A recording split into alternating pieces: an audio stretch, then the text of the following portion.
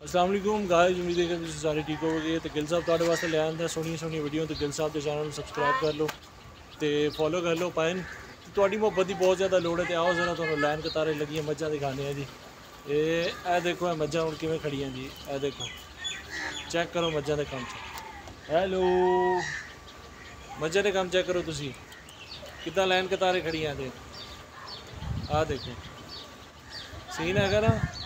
ਇਹ ਮੈਨੂੰ ਡੀਕਦੀਆਂ ਦੇਖ ਲਓ। ਲਾਈਨ ਕਤਾਰੇ ਲੱਗੀਆਂ। ਇਹ ਦੇਖੋ। ਆ ਨਾਲ ਮੇਰੀ ਅੰਮਾ ਵੀ ਬੈਠੀ ਹੈ ਇੱਧਰ।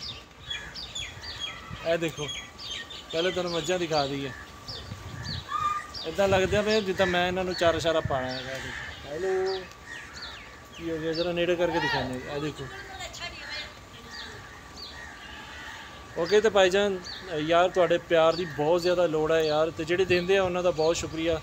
ਤੇ ਯਾਰ ਪਲੀਜ਼ ਆਪਣੇ ਭਰਾ ਦੇ ਚੈਨਲ ਨੂੰ ਬਹੁਤ ਜ਼ਿਆਦਾ ਸਬਸਕ੍ਰਾਈਬ ਕਰ ਲਓ ਯਾਰ। ਸਬਸਕ੍ਰਾਈਬਰ ਦੀ ਬਹੁਤ ਜ਼ਿਆਦਾ ਲੋੜ ਹੈ ਯਾਰ। ਤੇ ਬਹੁਤ ਸ਼ੁਕਰੀਆ ਭਾਈ ਆਪਣੀ ਮੁਹੱਬਤਾਂ ਯਾਦ ਰੱਖਣਾ। ਗੁੱਡ ਹੋ ਗਿਆ।